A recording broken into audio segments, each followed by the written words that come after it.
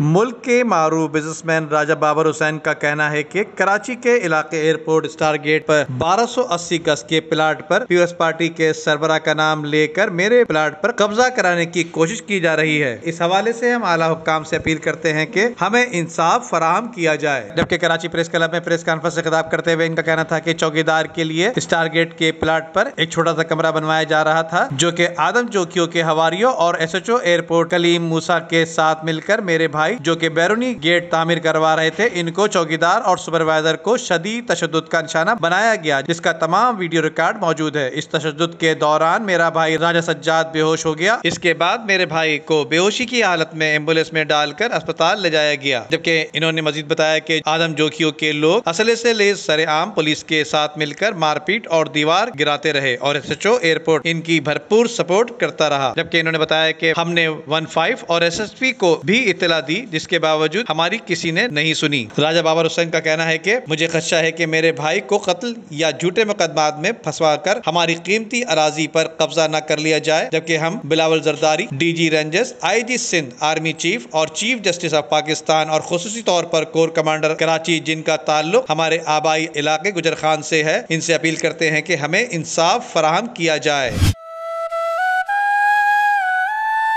गुजशत 26 सालों में आलमगीर वेलफेयर ट्रस्ट में आने वाले तीन लाख मरीजों के लिए हमने कभी ये नहीं सोचा कि इन मरीजों का इलाज कैसे होगा। रोज बरोज बढ़ती हुई महँगाई की वजह से इनकी उम्मीद आलमगीर वेलफेयर ट्रस्ट है। और हमारी उम्मीद आप सब। खुदारा इस साल भी अपनी जक़ात आलमगीर वेलफेयर ट्रस्ट को दीजिएगा और इन मरीजों की उम्मीद को टूटने से बचाइएगा।